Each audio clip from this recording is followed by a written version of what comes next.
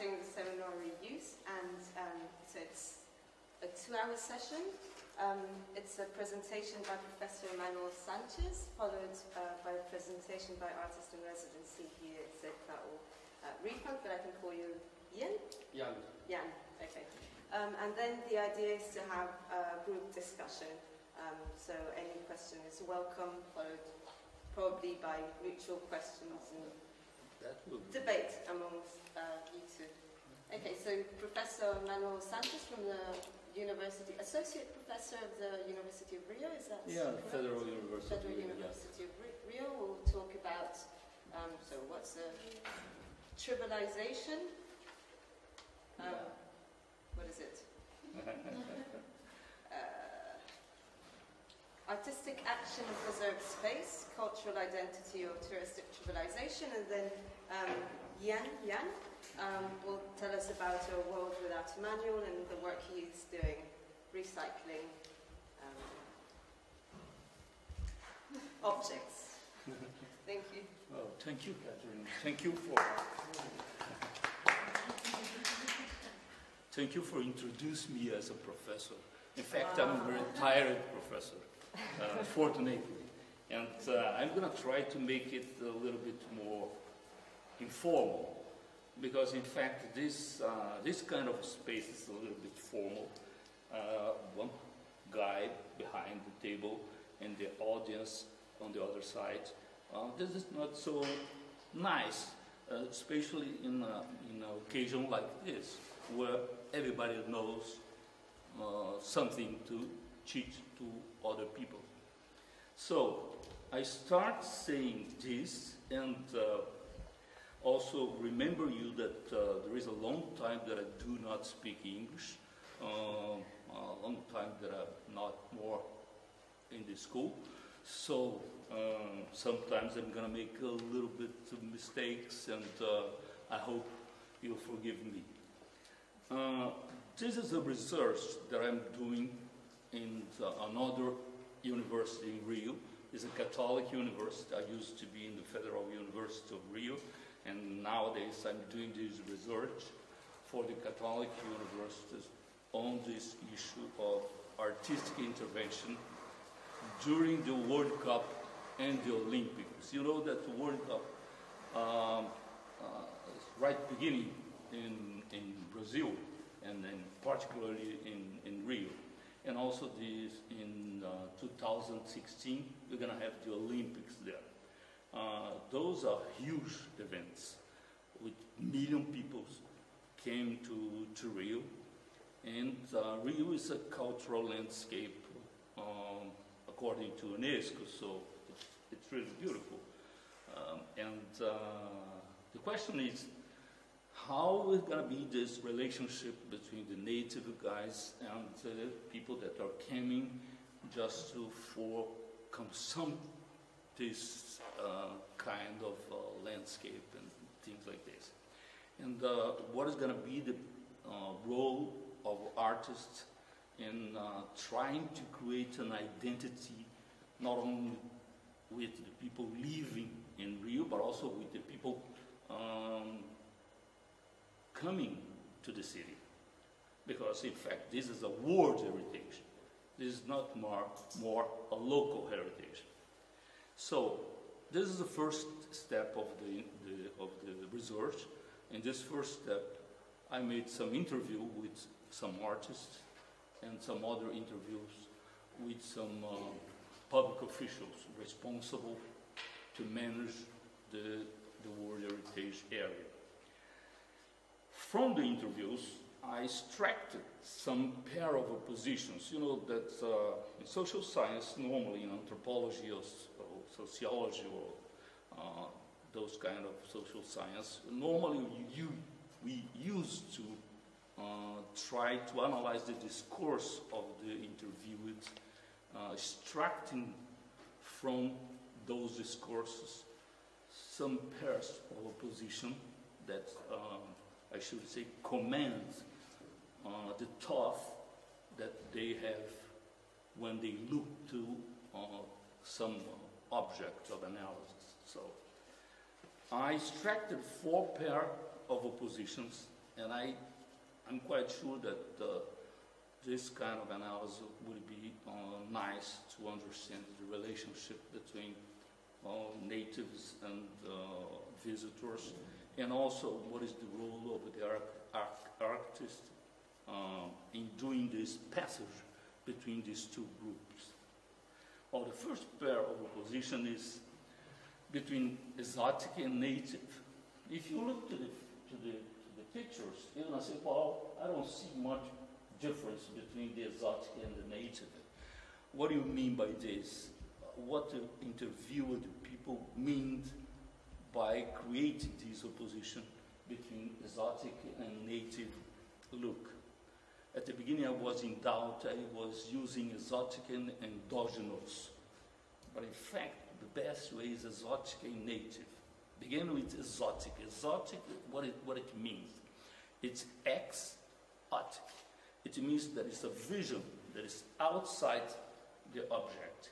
You, you, and you see there, I don't know if you can uh, repair this, but you see that in the first image, you have the people playing uh, with these figures of balls and the head and things like this. Brazilian guys always have a football in their heads.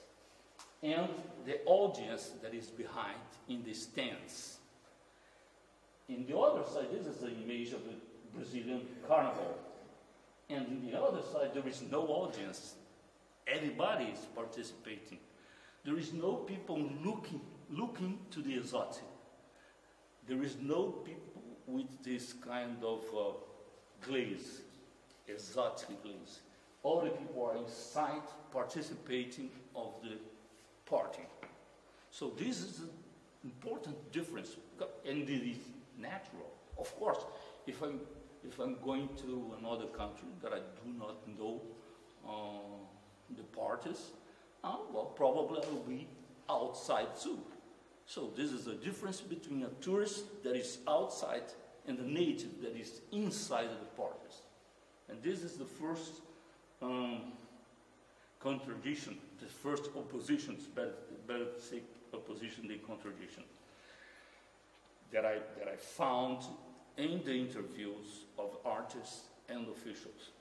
And this is another uh, opposition, another part of opposition that I found in the interviews. And this is because part of this, the interviewed people were artists, and the other part were officials, people, authorities, people responsible for uh, protecting the heritage.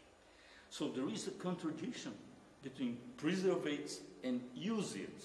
From the point of view of the official, the most important thing is to preserve the cultural heritage. From the point of view of the artist, on the contrary, is to use the heritage.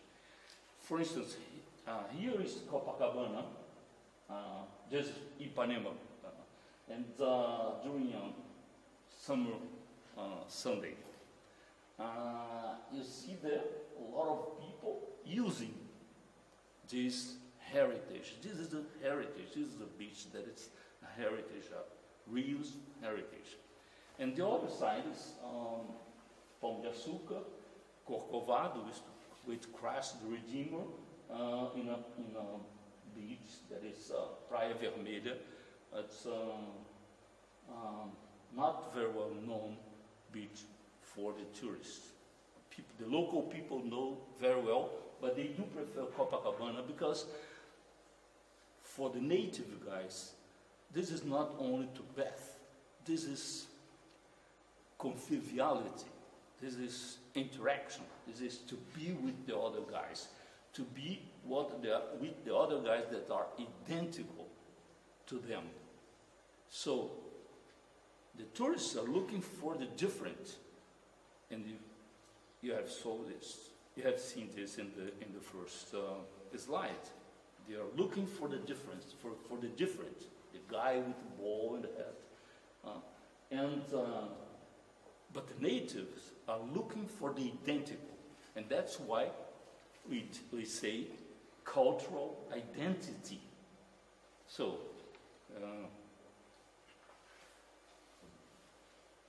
Well, the third opposition that I found there was about the sacred and the profane. Uh, normally, people think that sacred is much more related with uh, religiosity. This is not true. Soccer, for instance, could be sacred in the sense that there is a deep emotion uh, when, we, when you play soccer, especially when it is for the national team. There is uh, a space that should be, that is sacred for one team that should be preserved. And there is another space, there is the other team that should be preserved by the other team. And the idea is just to desecrate the other team. And people live this emotion, this emotion profoundly, except if you are a person that like baseball, for instance, and then you go to see um, the, the static of the game. But if you leave the game, then you're gonna leave the emotion for your team, national team or local team. You can have this difference in local team. And uh, so the sacred is much more to leave this emotion in a sense that you have to preserve something, you have to save something against the other. And the profane is the opposite of this. And so uh, you can see for the second image, there is a woman pretending to be Christ the Redeemer. Oh, for a man, for some men particularly, or even for some Catholic women, this could be a profanation. Of course, on the other side, for some women, this could be a political gesture in the sense that she's saying that God is not a man, God is a woman. And this is the same that we have seen in the case of football match. There is always different positions. The sacred for one is the profane for the other, and vice versa. Well, the fourth position that I found in the interviews is between cultural identity and tourist consummation. There's a mistake here. This is tourist consummation. Um, you see that um, nowadays um, images or heritages can be captured through a mobile phone and immediately communicate with thousands of people all over the world with different cultures. But basically, when we are tourists, we are making photos about the beautiful, about the ideal. We go to a country and we see a church, we see a landscape, we see even a people, exotic people for you, and then you got a picture and send to mama. Hello, mama. Look, what a beautiful guy or a beautiful woman is this with the ball in the head and things like this. So, normally you do not photograph the ugly, the violence, the poverty. Just the artists and the professionals do that. When you are a tourist, you are not looking for a, a poor guy in Venice and trying to photograph this poor guy or trying to photograph violence in, in Venice. You are trying to look for the beautiful space in Venice. And then you see in this uh, second image, this is a so-called wild safari. So they are visiting a favela in Rio as if it was a safari. On the other side are the violence, are the, the wild, are, I would say, even the animals. Huh? And this side are we making photos, in this case, of this uh, violence and uh, ugliness and poverty. But in fact, these three things do not pertain to the hotel lobbies. When you go to the hotel lobbies, you don't see photos on these aspects of a city, any city. On the other side, so this is a kind of touristic consummation. And the other side, you have the cultural identity in the sense that, for instance, nobody knows what is this. This is a game that we play in the beaches of Rio, a game called Altinho. Tourists never understand this. Even the Carioca guys, the people that lives in Rio, do not understand what is what, what Altinho is. Because Altinho is not a game when a person has to win the other. It's a game that everybody participates, like uh, a little bit like the indigenous, uh, the Brazilian indigenous from Amazon, that the game has to end matched. Nobody have to win the game. The game have to end zero to zero, one to one, two to two. And this is absolutely strange for a person that is not from that culture.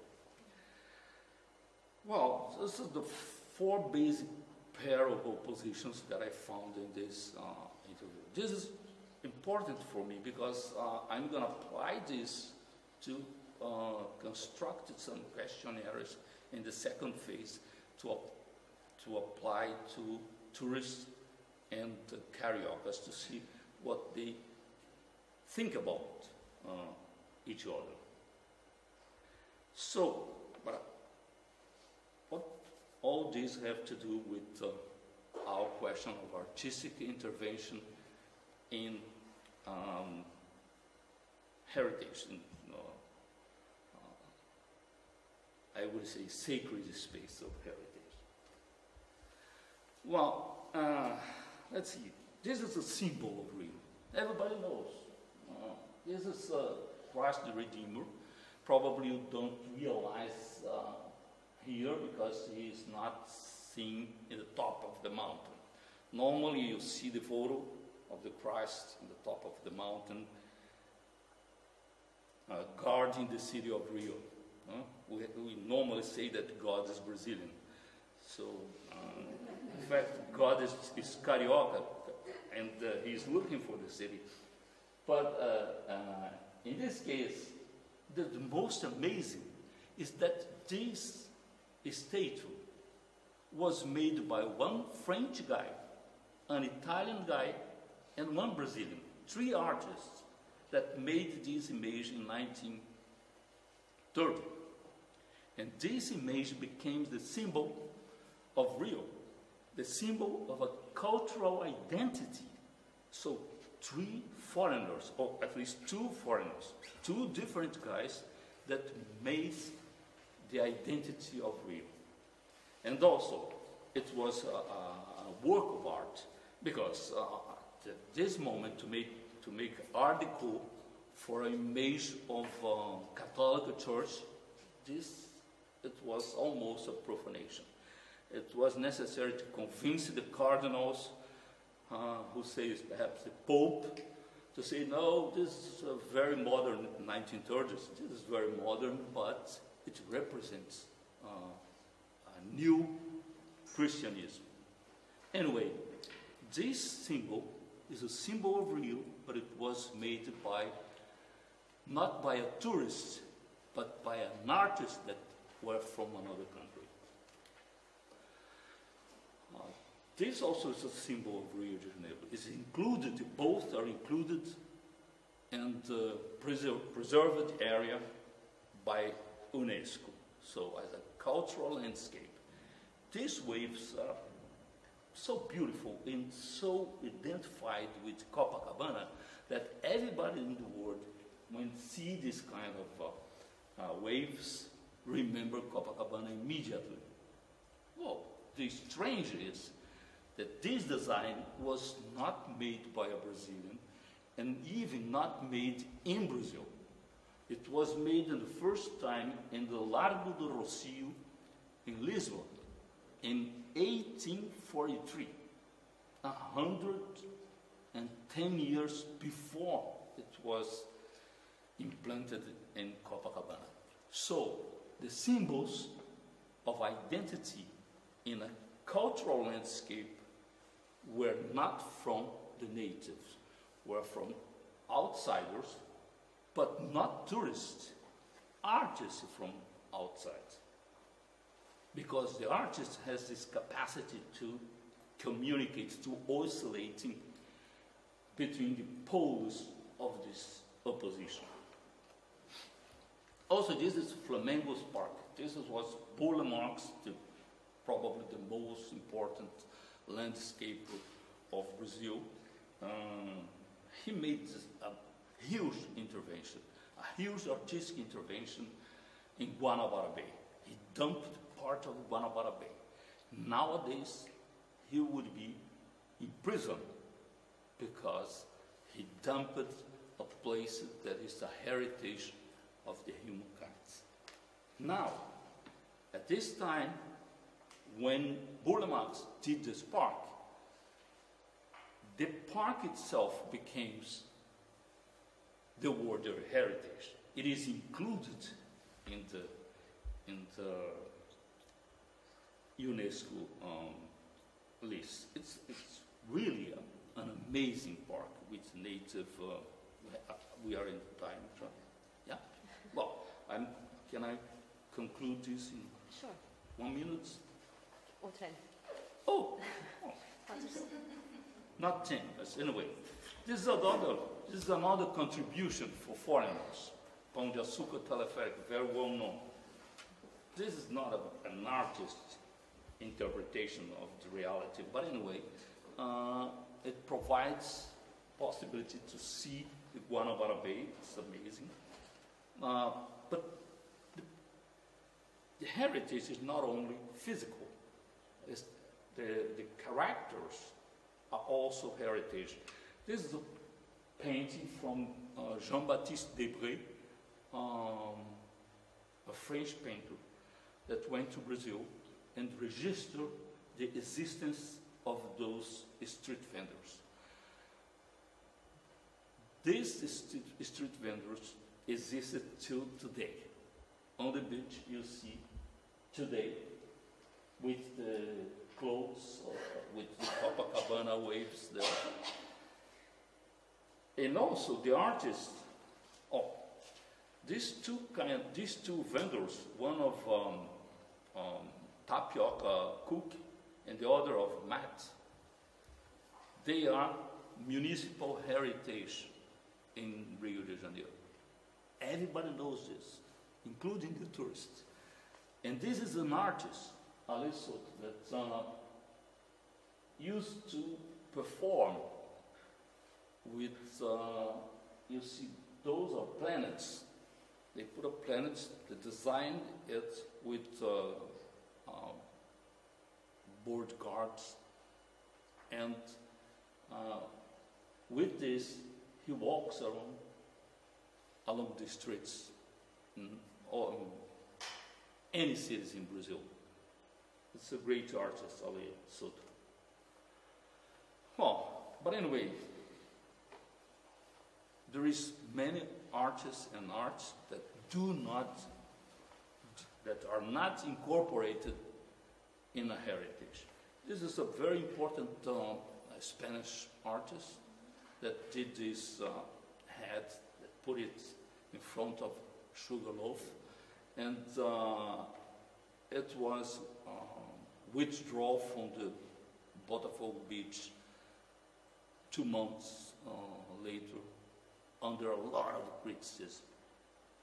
What the curious, uh, he did this other, uh, the Crown Fountain, which is a heritage of Chicago. He's a great artist, but the, pop, the population, the audience, did not identify it with this. First, because he put Iemanjá as a, a black god, gods. But in fact, the god, the goddess, is not black, is white. It was a goddess of black people, but it was a white woman. And he did not understood this uh, meaning of uh, a goddess of Afro-Brazilian uh, people. Again, Ale Soto, with his cardboard in New York, make a performance, always walking with this cardboard. It's a kind of irony with the metropol- metropolization metropolis of New York. And this is a sticker that another artist uh, pasted in a series of uh, uh, areas in the old Rio. We're gonna see some others, three more others rapidly. This is the inflatables of Hugo Richard. He did it in the center of Rio, and uh, everybody loved this. It was a public identification with this, just the contrary of the big head, the big blue head that the Spanish guy put in the Botafogo beach. Again, the inflatables of Hugo Richard and the relationship between the ephemeral of the inflatable and the permanent of a museum. And that's curious because the inflatable is uh, bigger than the museum, bigger than the permanent. Uh, again, uh, Ale with the cardboard, um, again doing uh, irony with the metropo- metropolization. But I would love to show you these engravings of João Sanchez that uh, he produces and uh, pastes in a lot of streets in the city. This is very well known in Rio. And also this sticker of Pedro Sanchez. But the most important for me is the street art in the favelas. Because I'm quite sure, I'm really quite sure that uh, in the future, what will be the heritage of Rio de Janeiro will be the favelas and not the huge uh, tourist events of World Cup and uh, Olympics. And this is a street art inside the favela.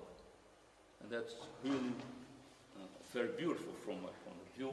I choose this to finish my presentation because I do believe that the most important is just to connect with the native guys and to extract from them those aspects that could be in the future universal. Thank you.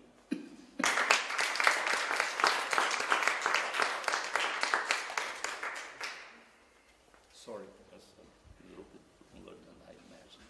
No, perfect timing. Uh, thank you very much, I to um, go on to Refunc. If you want to, to set up the presentation, and then all questions Yeah, come at the end. He's been here in Germany for a year, I believe, or so, um, with the Silos, which is out here. Um, he lives there, um, he created the space. Originally an architect and artist, and um, yeah, he built the Silos in uh, the Netherlands and, and came here, is based here, and works a lot on, well, he presented the other day his work um, on the reuse and refunctionalization of certain objects that are um, left abandoned. What do we do with them? If you want to, okay, we have to start your presentation. Thank you. I will take you very quickly and roughly through a huge amount of images of uh, our world without a manual because we look at everything in a different way as architects who work mainly with leftover materials. This means we are something in between art, architecture, and design, and I will show you what heritage is a connection for us. So I will always always come back in the lecture at some points, and I will just flood you with hundreds of images so that you can't remember anything. so the, the, the, the word where we come from, it's Refunc, it comes from the re, which means again in Latin. The funk is the function because we're architects, we're not artists in the sense everything is based on functions, and the word fun means that we play with problems what people have in their public space, wherever it is. This means heritage of a chair is that we ask, we go into a deep conversation with the chair. The chair says, I don't ever want anyone sit on me again and fart and do whatever things. And, we say, okay, so you become a table, and the chair says, oh, that would make me happy. So that's our piece of conversation, and the same that a friend of ours, he has a shop, a gallery in The Hague, and he was not allowed to put a bench in front because the sidewalks in Holland are very narrow, and the city asks money if you want to put a bench in front of your shop. So, but we asked the city the question, what about if we put a lot of bikes in front of the shop? Because bikes are allowed everywhere, right? And the city said yes. So we made a mixture of a bike and a chair, and the problem was solved. And this is in Africa. We experimented and see what comes out if you cross a garbage bin and a bike. The same that we solve issues because this is um, probably one of the most sold chairs worldwide, one of those models. You find them everywhere, mostly in the garbage. People just use them and then they don't even need to be broken, they get thrown away in huge amounts. So we had to solve an issue for Manifesta, the art exhibition in Belgium. They had considerably almost zero budget and they wanted 500 chairs. So we bought a stock of those chairs and changed them in height and made holes into them so they became interactive family and everyone could carry their chair on the art exhibition, low ones, high ones, and become groups. So there were chairs became groups, but the people as well. And this is actually the story what I had to think about one of our projects in Lithuania where the term heritage came quite close to us, even closer than we ever wanted and thought.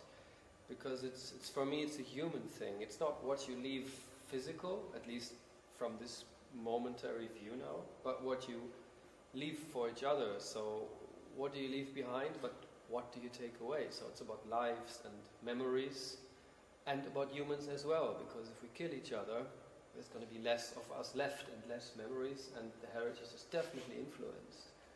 And as people talk a lot about friendly users, which is our term for user friendly, it's a wrong perception because the user, the product might be user friendly, but what if the user is not friendly with the product? It can end up like this that people use a definitely user friendly car and drink and drive. So we did a project in Lithuania which mostly used to end like this, and it still does.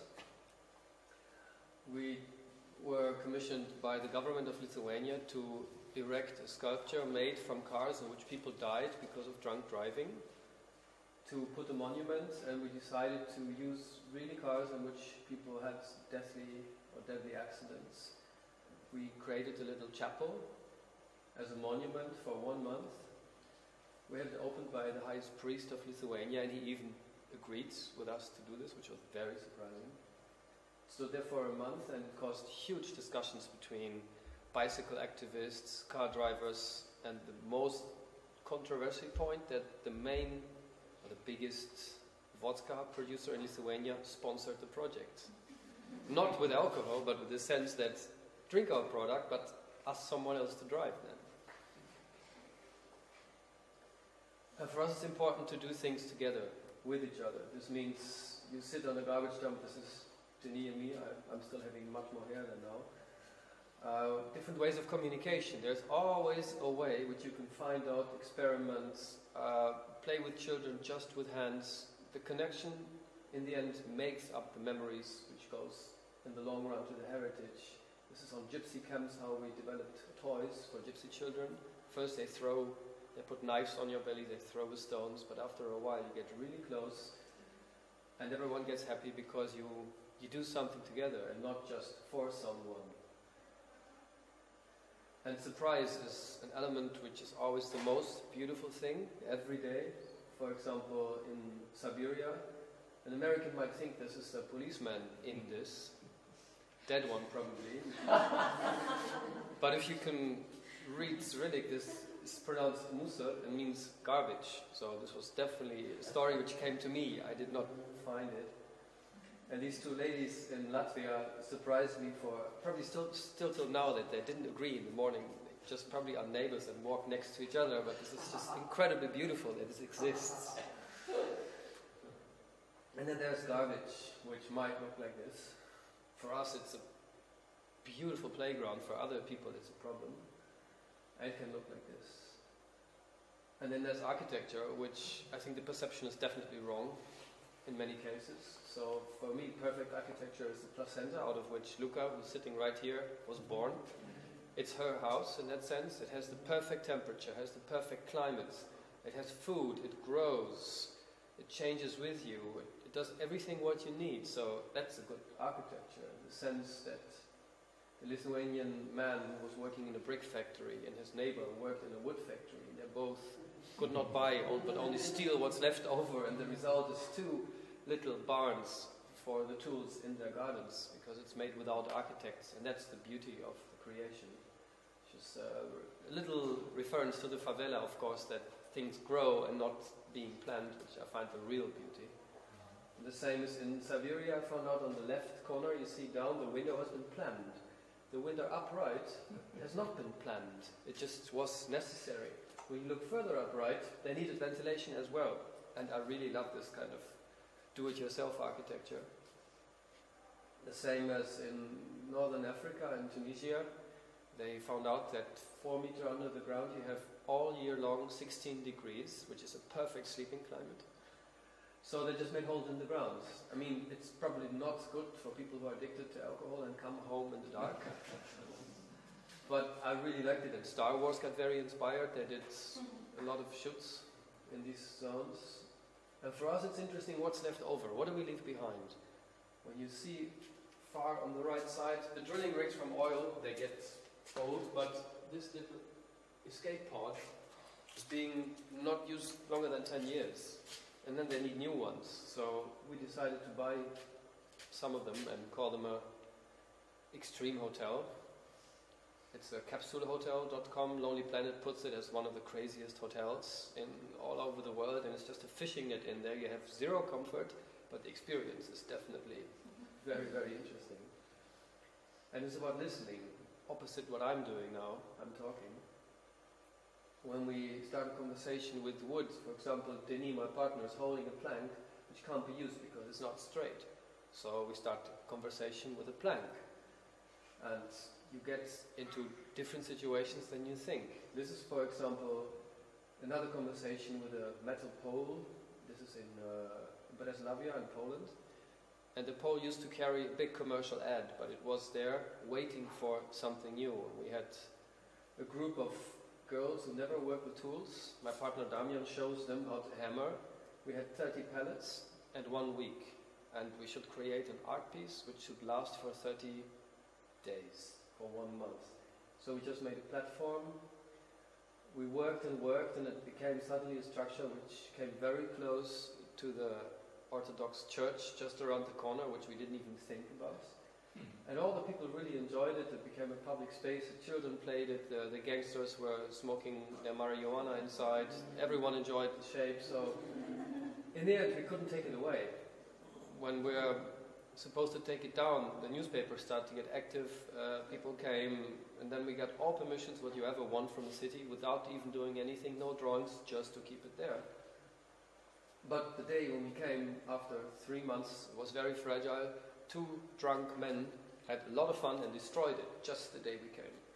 So the three days we had to reinforce this was day and work, day and night, always working. Then the snow came, so it was it didn't make it easier to work on an inclining ground. Our welder is a tall Polish man, fell ten times with his welding torch in his hands, and we didn't give up. It was light work. In the end, the snow came all the way, and it was winterproof. People could use it. The bridge actually you don't see anymore. It got stolen after a week. Somebody needed some firewood, but I understand it's cold in winter. I mean, come on. So this is the reason why somebody comes and steals wood from this object. So we came back this year, and it looked like this. It was still alive. This is Karol, my Polish friend.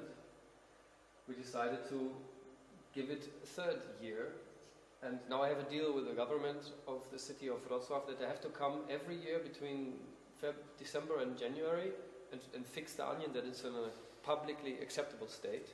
And we decided it's not just fixing, so we used paint and we thought red is the best base color for gold, so we really decided to make it a golden onion. And I'm very curious what will happen next year.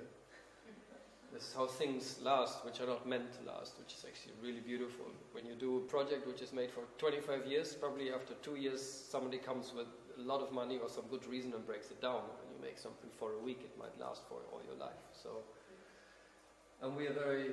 People think we are recycling architects, and we very much don't like this word anymore. We call it the green sauce. You just put a green label, a green sauce over products, and you can sell it for twice the price. And everybody thinks it's good, but recycling, except for glass maybe, means you transport things from A to B to C to D. Everything you don't want, you ship to Africa, to China, which you keep very quiet. And then you destroy everything, the structure. You just you even shorten the fibers, and then you put a lot of energy and make a new product and say it's good.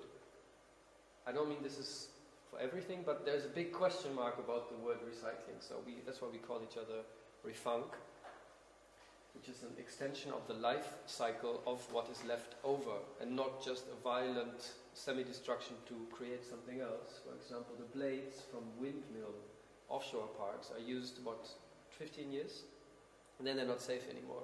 The value of each blade is about 200 euros after 15 years. So we bought four and made a flying container for a music festival. Of course, the transport is a bit more expensive than the price of the wing itself. And then we re- reused it again for a little festival, but you have wonderful objects for playing, for climbing. And there's a lot of them on the planet, and no one really thinks, what can you do with windmill blades? And I guess it's time for it. Uh, we always proclaim don't design, so you come somewhere you see people just make solutions for problematics. Worked in Africa, and the man who take care about the little church in the township, his sofa was broken, you see, we used a car tire and fixed it, so we had a friend. The neighbors who gave us electricity had electricity problem. I fixed that, and we had power and more friends. We created a little add-on roof for the children in the crash. There was not enough space. The great thing is the gangsters sat on it at night, and the chickens slept in it in the morning. So suddenly you have three functions, and you think only about one, which is. And then we had a lot of friendship and songs, and we made chairs in return for the show. And what we did in Africa, in southern Africa, that we asked children after school, and they come to us, each of them bring one tire, and they, they cleaned all the surrounding of the roads where you see tires in the environment everywhere. So it was really, really good, but in the end, we didn't realize how many tires are everywhere just in the landscape. So after a few days, we had to say, no tires today. it just went totally out of hand. It became even business. And a kitchen extension for the ladies. We went further to this material. You find outside in this park where we are now a lot of car tire chairs, so they come out of our hand and everyone carries them wherever they want. We look different, and that's what we like. So for most people, it's just a car battery, but we read, Who are you? says the car battery to us. So there's a conversation with any object possible if you understand the other kind of language. The same as the man in Kyrgyzstan who probably wanted to transport an elephant, who really made us think for a long time. And this is in Kyrgyzstan, in uh, Bishkek, it's a connection wood wood, how to make a bench with two trees without using any metal. It's just you let it grow into each other. This was very, very impressive. I mean, I don't know, but many years you will need some chair to go up, or if it goes somewhere, but it's it might rise and change. It's definitely an interesting way. We had a, a pitch in Holland to make a, an art piece on the river, and we didn't agree with the, the papers they asked us to send in because we refused to make a design because they asked us that we need to guarantee 25 years of caretaking within our budget.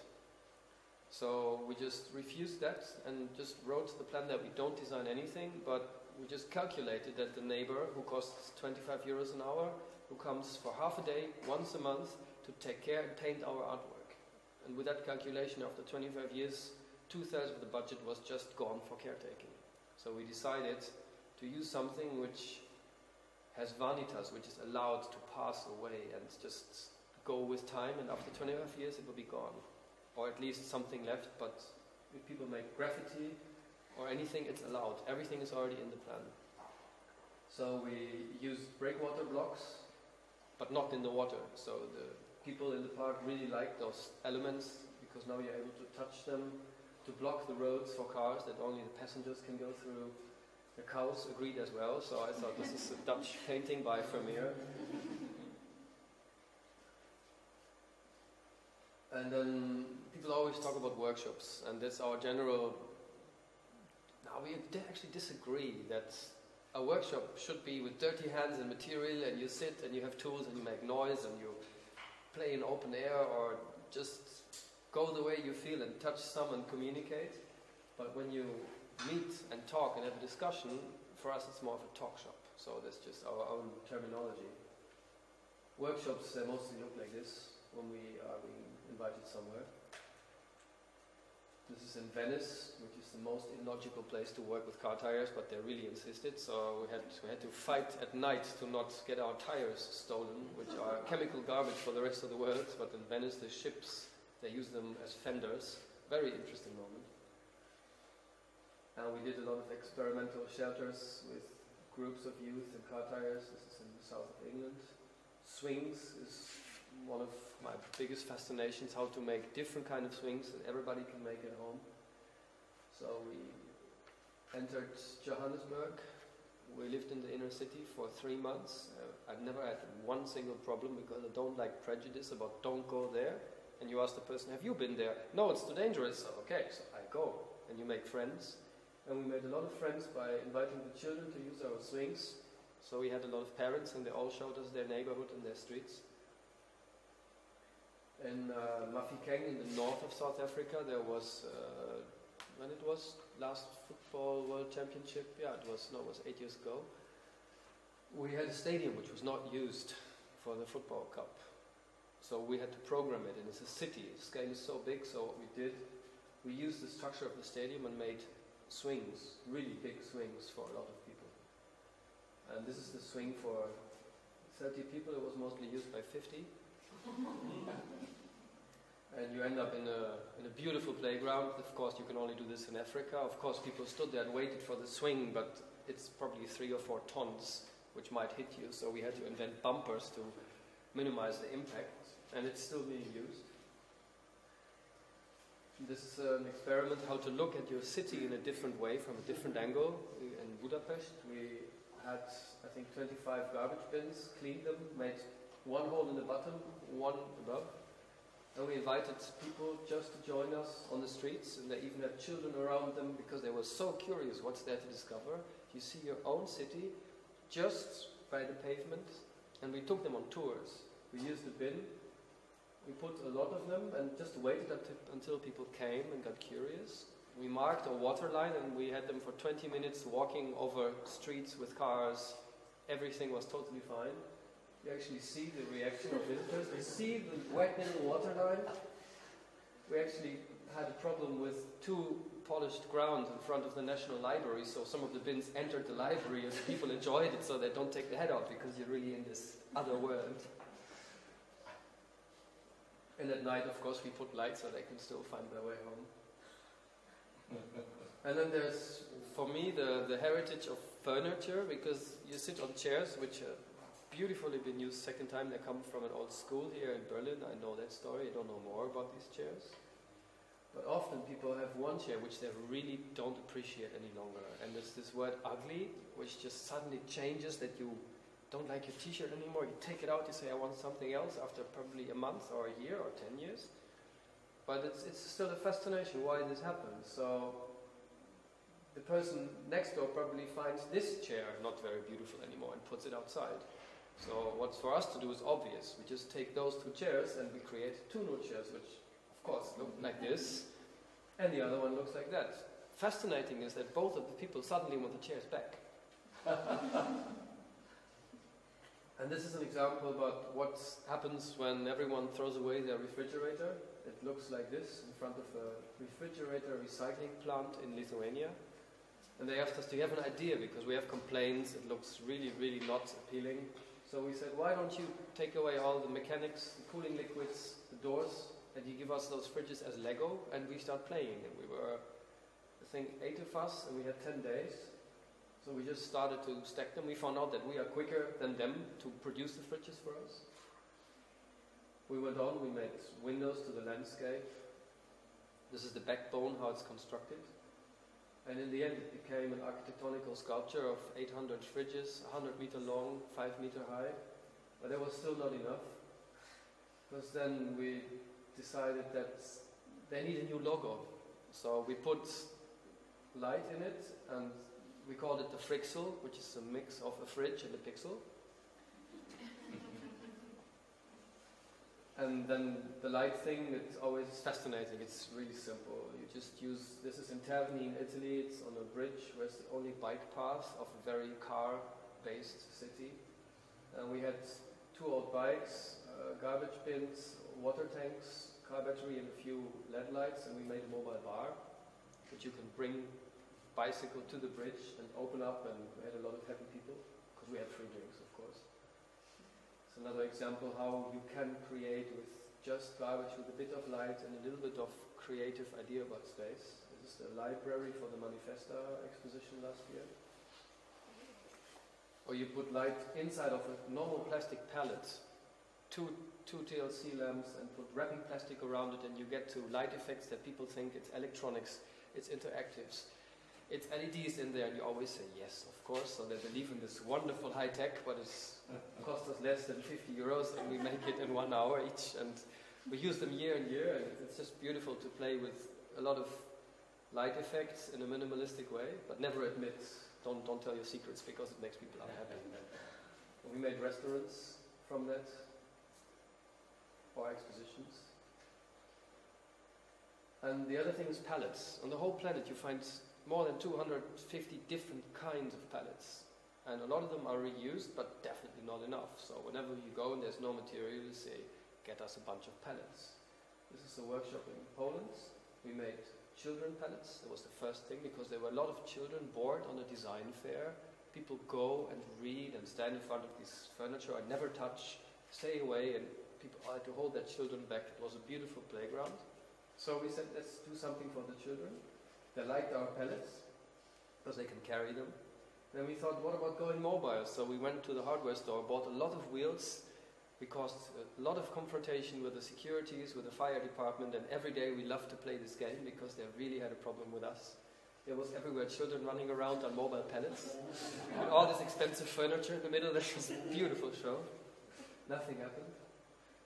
And we made mobile seats. This was made from one pallet for the, the parents and the visitors as well because there was nowhere to sit on a furniture exhibition where you could sit on the bench, which I actually found a bit weird.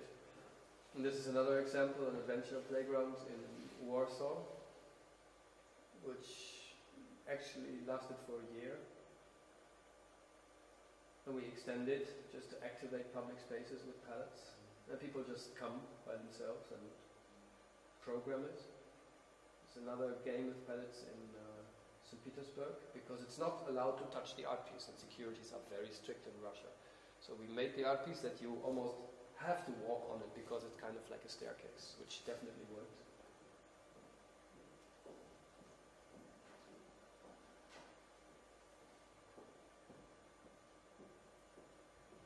And this is in Siberia, where public space is really hard. You see actually that the flowers are where the flowers are supposed to be. The bench are where you sit, public space you walk where it's pavement, so there was no dynamics. Uh, we just used a bit of car tire chairs, you can move them around. We made a podium from pallets, invited a band to play, filled water bottles with concrete, made a car tire ball so you can play public bowling, which worked. The children played their games, so it's just about changing the perception about spaces, borders, elements. The auditorium was very, very minimal, but people really started to give performances in the middle. The girls with their high heels wanted us to create a, a Carrera circuit, like an eight they can walk around, which made definitely no sense, but it was a good show because it's on the grass. So we activated the, the grass by pallets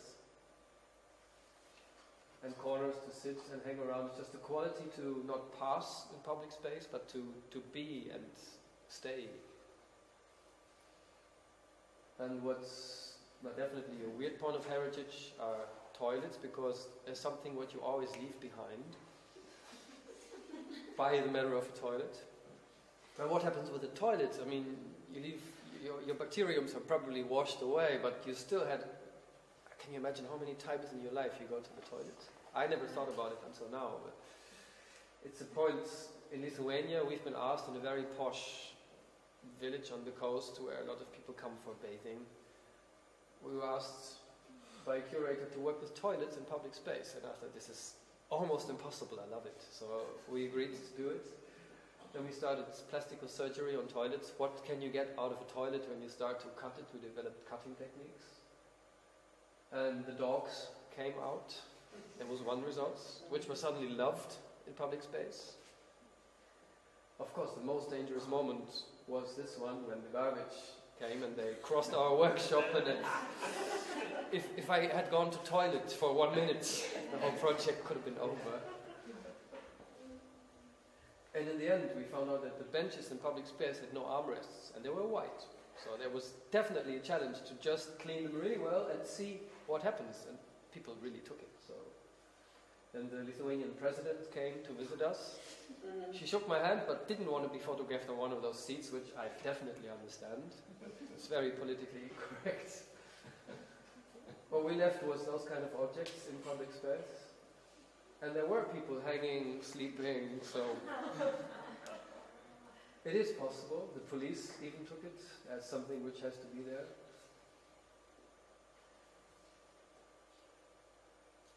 And the last story I would like to tell you is the story about my own house. Yeah, that involves you as well, Luca. Because when you're a smaller being or a creature, as a grown up, you see things different. So I developed from an old grain silo a house for myself, which I can carry with me like a snail, so it has to be mobile. So it can't be bigger than a truck size. And still, I found a farmer which could not live on the products he produced, like his milk and meat. So he started to collect and trade with grain silos. Animal foods normally stored, so he had this space full of them, which looks like on Mars. And I got inspired and made a few ideas. What could you do with a grain silo? I bought the biggest and oldest one he had. He ever went to his space, and you see, ah, it's a space. But I didn't like the horizontal orientation. You get too much to a caravan or a camper. The, the space is definitely not there. After I lived two years in a caravan, I found out that you always have cold feet and two warm hands. that the acoustic insulation is definitely zero. And the space, you can't even stretch your arms. And when your Dutch friends, which are mostly tall people, come to visit you, they talk to you like this. So I knew what I had to do. I, I love the evolution of a caravan, how practical you can spend all your life without moving your foot position, but still there's no space existing. So this was supposed to be the new space. A farmer asked me 300 euros for the silo, including the steel frame, and brought it even because he liked the project. A friend of ours who has a truck with a crane came to help to put it up. And you see, it's rather small. Each of the people around had completely finished ideas of what you can do, how you can make a house from this. So I didn't need to draw any plans because everyone had changed. People in the harbor in Scheveningen, where uh, I lived in Holland, the, the technical equipment people from the ships came and said, "Oh, you can do like this, or you can put the window here. Oh, we help you to insulate." So the story was ongoing. So I just put the window and say it's a house. Made a little sketch to see how can you actually put yourself into a space. And my youth dream was always to have a bathtub in the ground. It's a bit like Japanese style. Not even for water, just to put your feet into it. And then Luca came. She was then four. Now she's almost Five. eight. Five, okay, Five, sorry. six. Corrected. and you see, we just started to put the floor, and her comments were inspiring because space is a definition about how tall you are, how big you are, how you perceive it, your experience with space. The students from the local academy came. My assistant made a balcony. And I was surprised that eight people in only a space of 4.2 square meter have a comfortable time in a talk, which I didn't try before. So we kept on cutting it open. You see a frame which tells us this is the maximum what a truck can take without special permissions. My birthday came. I invited my friends. There were 26 people inside on two levels at that time. Now we have three. I learned chemistry to deal with this polyester material, what the silo is made from. The storms and the rain came, so we had to learn hard lessons. Don't ever try this outside again.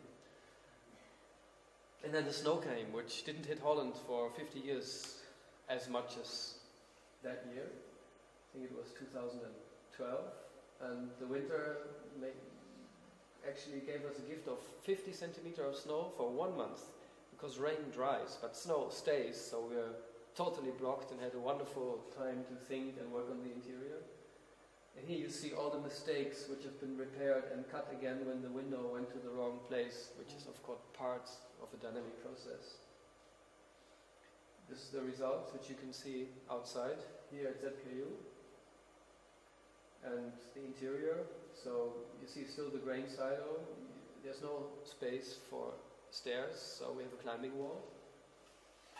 And there's, you see a little bucket which brings all the goods, like cup of tea, upstairs or downstairs, because while you climb, you have no hands free, which makes you realize that your mouth is what you can carry. Or you have a lift. We have a fireplace. It's basically everything what you need on what 14 square meter on three levels. Luca found out that in the corner where the door opens on the upper floor is enough space for her. I did not consider this as a space. And she said, if you make a little folding table for me, I hope you don't need to correct me now. that she wants to have the view to see the ships and she can make the drawings. So the children room designed itself in that sense. This is the sleeping department upstairs. And this was the interaction and the result with the city behind. This could be Greece. and the view, which I do miss, the staircase and the lift. And you see on the right side, I spent two years in the caravan to learn how to make a different kind of mobile house with quality of space. And then the big moment came, the truth. Yeah, because people put a lot of furniture with wheels and they say they're mobile, but I don't believe if you don't move something, it's not mobile, it's just an illusion. So the crane came and it was definitely a scary moment. Everything went well.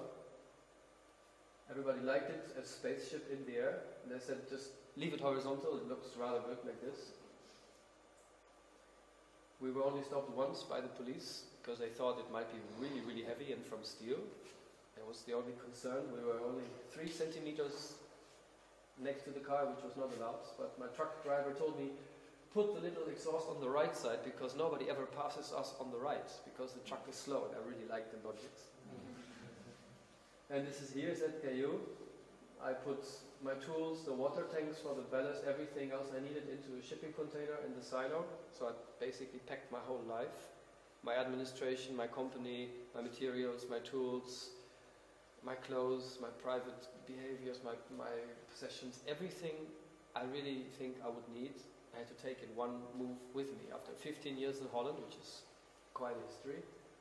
And then you put it back up, and the beautiful thing is a mobile house, which is almost round, you twist it with one hand when it's hanging on the truck, and you think, oh, where's the sun? Where's the view? And you keep on twisting and say, okay, now you look around, and yeah, it's good. Oh, wait one second. And you twist it another centimeter, and then you put it down. We opened the windows, we put the water tanks. I brought some chairs from Holland, as you saw before. We called out an opening party. Luca was singing songs for the visitors. and we had a lot of guests, and we leave our door open on a weekday, mostly even on weekends. We have people just coming in. I admit it doesn't look like a house, maybe more like a play installation. Yesterday there were so many children around that we even had to leave because we couldn't handle the questions, the amount and the shaking on the house, which is just curiosity, but it was too much for us. And you get visitors from different zones. they need space for landing, so we had the police, oh no, the, the fire department and the rescues, and school children from a class visiting us, climbing. The winter came and it definitely worked out. We never had it cold. We found a lot of firewood people took the space as you could say it's a mosque now, but it's not. And then we developed a garden in front, so we're not really as mobile as we think anymore. Two weeks ago there was open house here at ZK/U. And we thought it would be great to have a pizza oven, so we used stones from the streets and we started to bake pizza.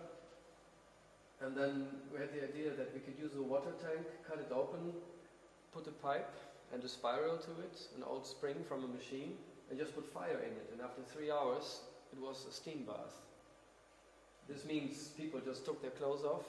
First they were in underwear, later they were all naked and having a steam bath in the middle of public space. So it was definitely a rewarding element. And it looked like a little festival. There was an installation by the OSC, Australian group, so the whole ZK/U was one night festival zone. And the last thing I want to tell you about what kind of weird heritage we can create by not speaking the language and not understanding each other is a story from Mexico. There was in the registry of official names, two new names appeared. Nobody knew where they came from. People speak mostly Spanish and no English. And a lot of boys are called in Mexico now Uznavi and Uzarmi. So, and now you see where it came from because later they discovered it's the t-shirt and if you read it in Spanish it's Uznavi and I find the name quite nice. So thank you very much for your time.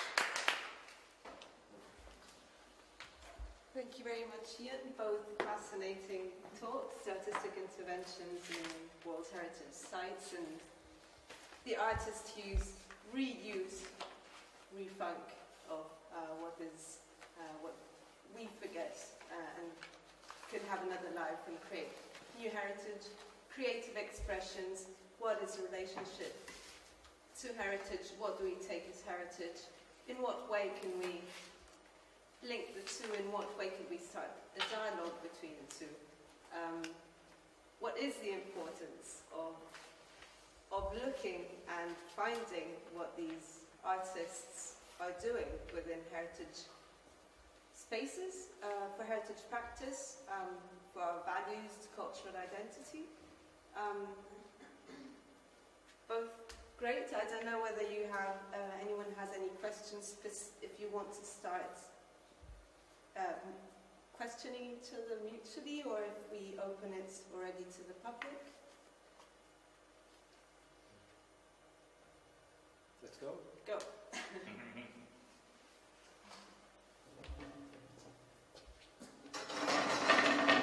Yeah, I would love to invite you to go to Favela in Rio. Oh, I'm coming for sure. Yeah. When we go tomorrow? Tomorrow would be, would be nice to, to see how people there used to refunc a lot of things just to survive. Uh, and that was uh, really, really important and really curious. And I do believe that this uh, kind of artist, I have said before that the, the artists are not tourists.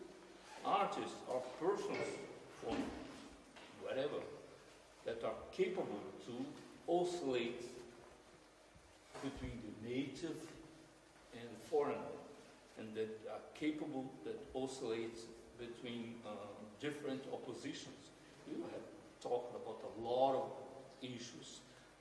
For instance, the difference between a chair and a table, and then you create a table or something like this. So you create something that links one different thing with another one.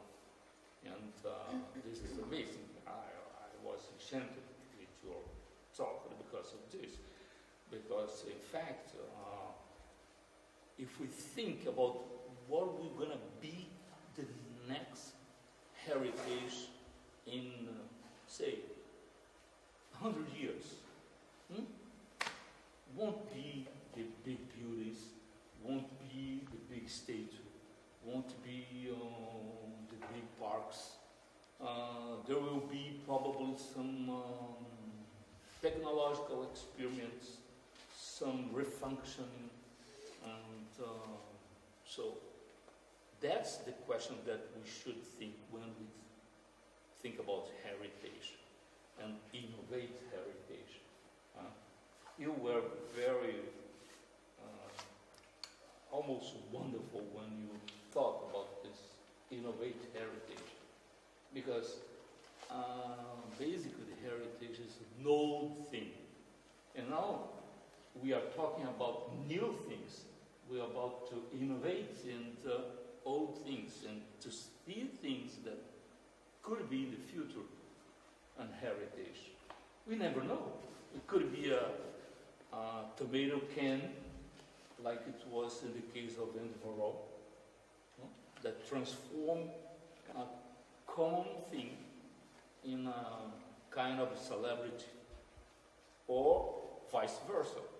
Got Marilyn Monroe, that was a celebrity, and transform it in a common thing, and reproduce it a lot of time. That's nice. I see. I see. I was thinking when I was working on my paper I was thinking, wow, because we changed a little bit, because uh, at, at, the beginning it would be a, a conversation with uh, uh, Huan Chen. Huan Chen, and uh, it would be much more about tourism and things like this. And then I, I had already done something on my research, and I, I also began to think about the, the, the thoughts of Huan Chen. And then I was informed that um, uh, it was necessary to change because uh, Huan Chen had a problem with uh, visa and things like this. And I sent you an email saying, wow, that's wonderful because this kind of issues of refund are going to be uh, very close with the question that I would love, I would love to, to put in on the table. So, great. No, it's just beautiful to see the connection because I, I see the, the link, we call it always the, the art tourism and the tourism and terrorism is for us quite close because you invade and, and I, I, really like your point of view. I mean, it's the same how the, the, the safari things happen and but for us even architecture is uh, is a terrorist as itself because we come from the background of architecture and many architects create situations or buildings they don't realize. A painting on the wall you can take down or even destroy it or just put it in the basement. But a house, you're facing it yeah. 50 years. And I think when they design houses, they would not live themselves in. You should hang the architect on the facade. Uh-huh. Because if you force architects to live in the dwellings they create, there would be such a different kind of architectonical sculptures coming. And, and, and I miss the, where you're just wealthy and you have your own secure place and you do your work and, and what we discovered in different places where we work that the more it's not about poverty but when you have nothing from whatever background you come you get extremely good and improvisation has an enormous enormous raise that's why of course the slums in, in India in South Africa in, in Brazil the creativity is incredibly high because yeah. it has to be yes. there's no other way to survive and that's what I love but it's it's about creativity in in everyday things. There's a beautiful book about the Russian inventions in the last 50 years. It's all about things this big. And there's people who found out that there's no light switch. They just they just needed no. They had a light switch but no socket for power. So they just opened the the light switch on the top on the ceiling. There was a connector for the lamp, and they created adapters that you put a bulb in, but it has no bulb, but it has a power plug in it. Mm-hmm. And it's just genius little things, how to make a knife into a fork, and, and that's actually the real quality. And they're not even considered inventions because they're so logical and so practical. But we shouldn't forget that that makes life beautiful, the, the things you touch every day. Yeah, well, I cannot lose the opportunity to say that I'm, I'm an architect too. Mm-hmm. I'm, uh, uh I, I, was, beginning I was a social scientist because I had double formation as a social scientist and then later as an architect. And I realized that uh, this opposition could be, that I could oscillate between these two poles of this uh, opposition too. And then um, it came to me two things the analytical aspect of the social sciences and the syntactic aspects of, of the uh, architect. And uh, for instance, you have uh, talked about uh, this kind of a bricolage. Bricolage, as you know, is a, a French word that was recovered by Lévi-Strauss, a very famous anthropologist, that recovered the bricolage as a way of thought. So, do bricolage is to think. And that's amazing how people had to solve questions. Once I was in a big university in, in the United States where uh, I have studied, and uh, the guy was talking on how could a poor guy coming from a favela in Brazil uh, study in this university. It would be difficult for him to solve all the problems. And I said, well, I, I keep imagining how difficult, how difficult it would be for you to go to a favela and survive there. Uh, you're probably going to be uh, uh, killed because it would be necessary. And that's curious because you have said that uh, you went to some poor areas and poor district in Mexico. I think you have said one place that Johannesburg. South. Johannesburg. Yeah. Yes, and uh, and that's very curious because there is a lot of people capable to go. I well, I lived there, so for me it was a little bit easy.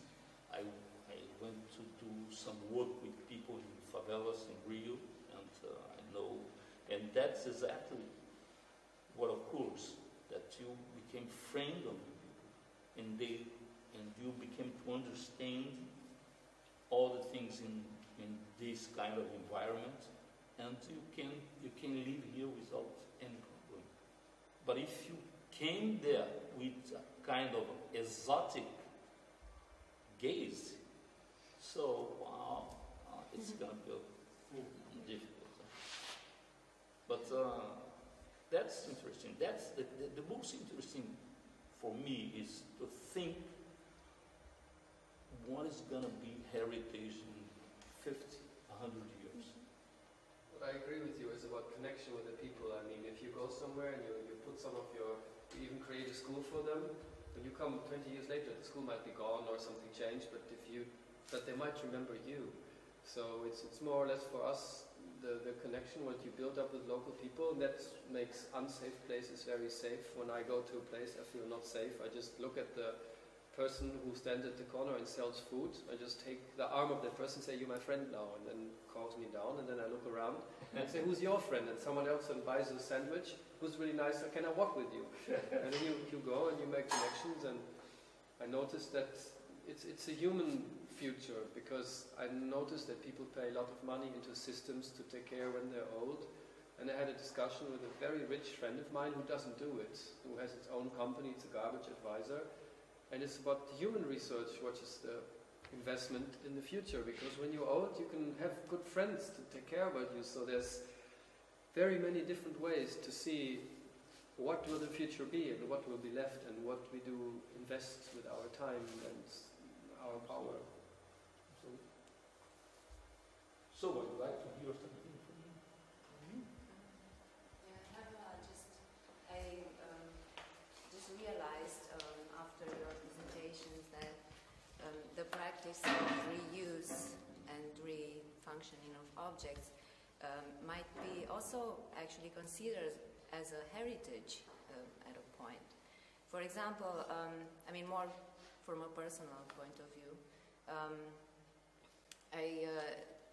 now just realized that in my family, for example, we had this uh, habit of not throwing away stuff because you never know when you might need it for something. And it actually stays with you then, um, this practice.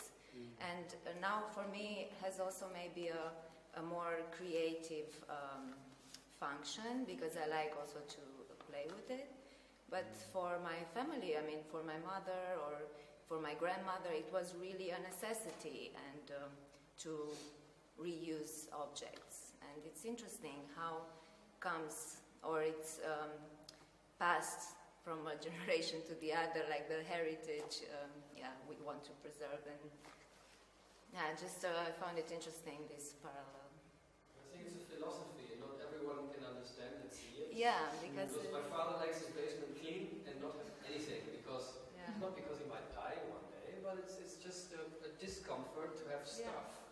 If you look at it as stuff and things, it's definitely not comforting you. But for when I come to the basement of my uncle and he collected all these metal pipes and these things, it's paradise for me. I can start to create immediately, and in, even on the streets of cleany, tidy Japan, you find people grow plants and flowers in almost any kind of object which has the capability of a pot. If it's from yogurt, uh, car parts, uh, the tidiest families do this. It's a big Japanese tradition. In all the houses you see these buckets or coffee cups or everything full of little plants. And I think then you speak a language, and it's, it's a philosophy and an expression, and it can be the future. It's just the question who, who is able and who wants to be able to speak that language. Just I want to ex- share my some experience about this uh, recycling materials and recycling something which is connected to the her- heritage and emotion also. Um, I went to had a house, uh, my grandfather's house, 100 years old. It's about almost 100 years old. So everybody was talking about that. Let's demolish it and make a new beautiful house in the countryside. It was in the countryside. So uh, somehow, just it was very much emotional for, for my family, for my grandparents, grand, grandfathers, and, and the other guys. So I just told one tips. Then let's make the bricks use. Let's let's try to use the bricks, whatever the the situation is. Let's try to use the bricks from at least seventy percent or sixty percent. Make it a new building, a small building, but with those, uh, I mean, elements and the wood. We had the wooden purlins and you know the ancient roof system, roofing system. It has the purlins and wooden birds. So we also uh, reuse those uh, woods and made the windows and the doors like that. So it's an emotion. It's a, it's a connection. You know, that house is not belongs to now, but a new small small house we will have.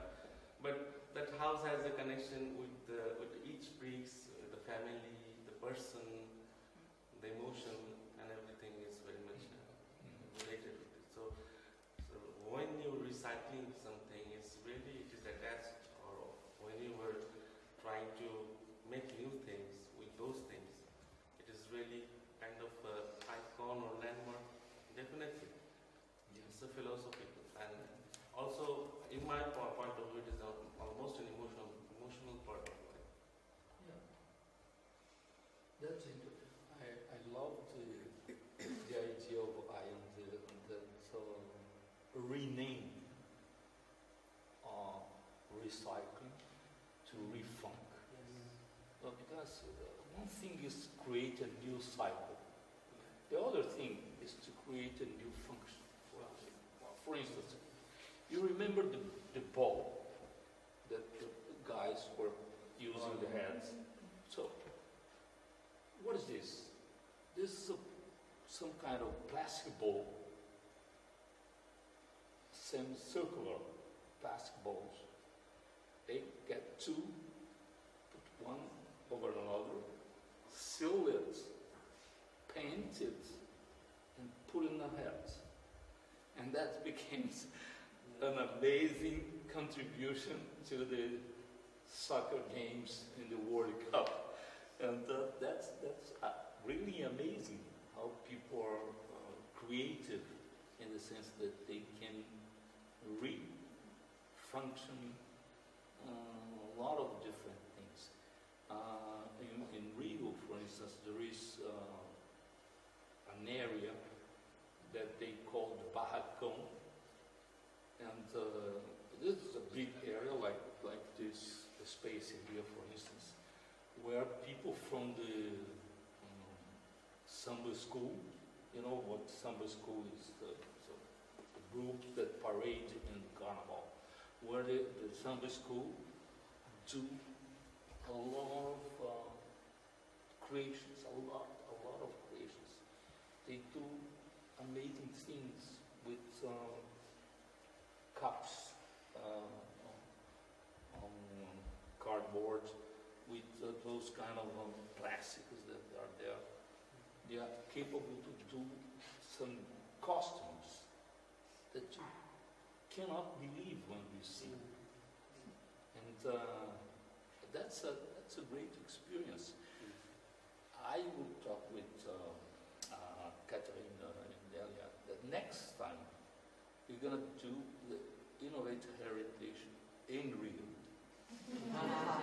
so we're gonna invite everybody there, and uh, wow, I'm gonna look for some funding and uh, do this uh, conference there inside a barracão of uh, samba school.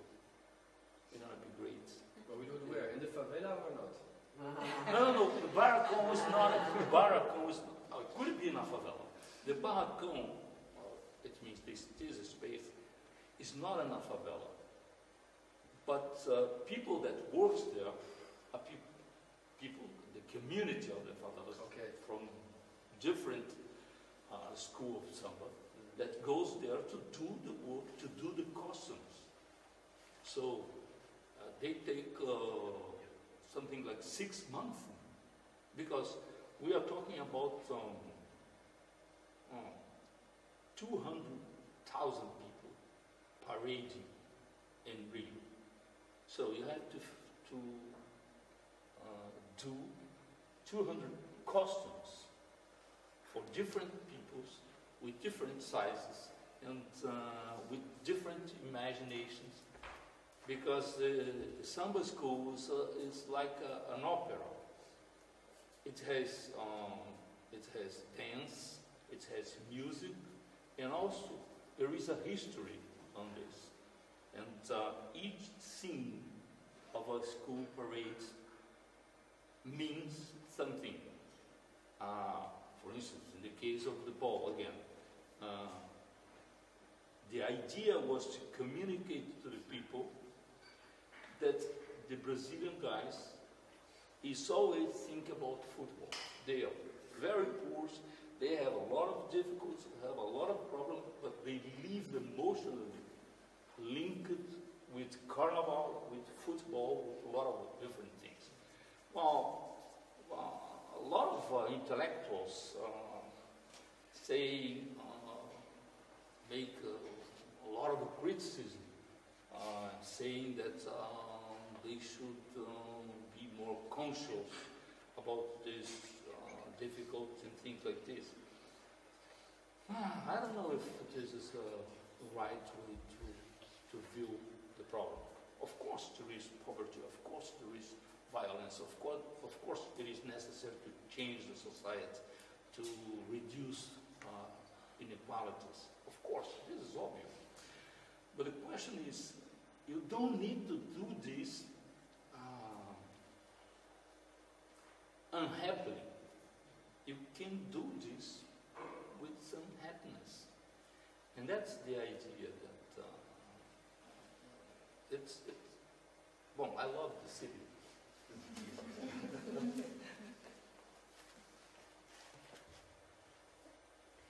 Um, I don't have a question, maybe more like a comment. I come uh, from Montenegro, it's a small country in the Mediterranean, and um, I'm a conservation architect.